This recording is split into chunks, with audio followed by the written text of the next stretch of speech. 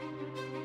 The Jackson Mitchell family, my family, made civil rights and public service a four generation commitment when I became elected to the Maryland State Legislature in 1995. Lillie May Carroll Jackson, my great grandmother, was president of the Baltimore branch of the NAACP from 1935 to 1970. Poet Langston Hughes called her Ma Freedom in his book Fight for Freedom. Her daughter, my late grandmother, Juanita Jackson Mitchell, became the first black woman to practice law in the state of Maryland in 1950 and then used the law to fight legalized segregation sometimes alongside the late U.S. Supreme Court Justice Thurgood Marshall. Her husband, my late grandfather, Clarence M. Mitchell Jr., a childhood friend of Justice Marshall in West Baltimore City, was affectionately called the 101st United States Senator for his influence in helping to secure the passage of the 1964 Public Accommodations Act, the 1965 Voting Rights Act, and the 1968 Fair Housing Bill. My late great uncle Parren, J. Mitchell, the younger brother of my grandfather, Clarence Jr., was elected the first black congressman from Maryland in 1970. He was a founding member of the Congressional Black Caucus and became known as the father of minority business nationwide for his legislative advocacy, including his landmark public law 95 507 that required federal business contracts to include